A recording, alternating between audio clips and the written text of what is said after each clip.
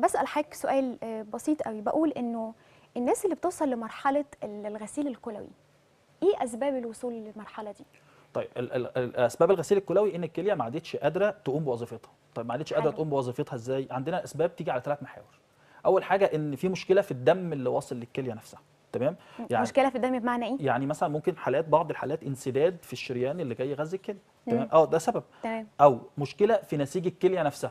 يعني نسيج الكلية نفسه مش قادر يؤدي وظيفته مم. أو مشكلة ما بعد الكلية يعني الكلية أدت وظيفتها أفرزت البول بس البول مم. ده محبوس تماما ما بيتصرفش سواء انسداد في الحالب سواء انسداد في حوض الكلية سواء في بعض الحالات بتوصل إن يكون في انسداد في مجرى البول زي الطفل صغير مولود بعيب خلقي مثلا في مجرى البول مم. طيب أي أي أي بالنسبة للثلاث أسباب دول لو زال السبب ممكن المريض يرجع. يعني مثلا لو في بني آدم عنده انسداد في حوض الكليتين مثلا تمام. تمام؟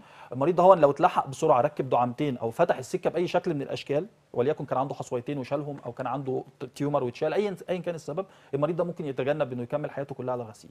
لكن المريض اللي عنده مشكلة في نسيج الكلية في الغالب ده بيكون مرض مزمن بنسبة كبيرة يعني أغلب الحالات وبيضطر إنه بيكمل على غسيل بقى لحد ما يشوف حل إذا كان في transplantation أو كان في حاجة ثانية